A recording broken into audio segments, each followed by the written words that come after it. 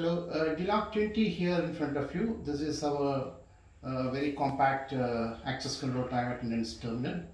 Uh, it works uh, on TCP IP. It got a wireless uh, connectivity also and it can connect with RS485 as well. So it identifies uh, yourself through your fingerprint, your RF card and password. So you can just put uh, putting my finger which is enrolled already. So it's identified me. Okay, and I can put my RF card. Okay. Again identified me. Then I can even put my password also. If I configure my password, it can be used to identify that also. The beauty of the machine is it has uh, got a Wi-Fi also, so you can connect it with your back office time attendance application.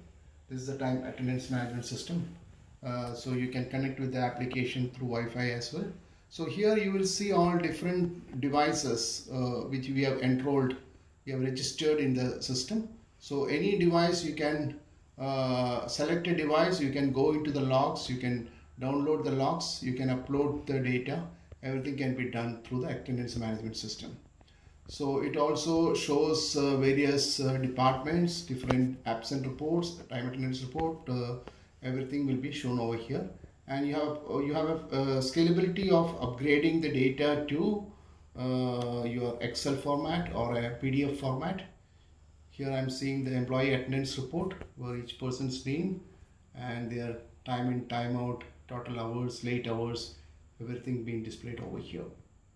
So it's cost effective and it works the uh, purpose of access control and time attendance. Thank you